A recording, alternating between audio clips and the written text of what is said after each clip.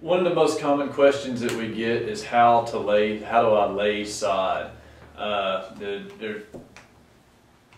two different scenarios for, for, for laying sod. Uh, sometimes you are laying sod on a new home that is bare dirt, and that is the easiest situation to, to lay, lay new grass in. Uh, all you have to do is make sure that the ground is nice and level and uh, raked out smooth and, and free of debris and weeds and then you just simply lay the 16 by 24 inch pieces of grass uh, down on the ground and uh,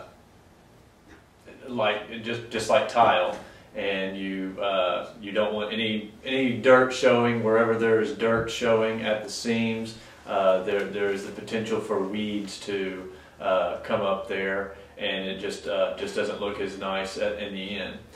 The little bit tougher scenario is when you're trying to replace grass that uh, is gotten full of weeds or there, there is existing grass there, whether it be weeds or you just want to change the variety of grass that's there. In that case, you uh, ideally you spray the area with Roundup and wait about seven to ten days and let it die, and then either use a weed eater or a sod cutter to rip that old grass out and or weed it down to the ground, which, like I said, is, is not is not uh, the the preferred method. And then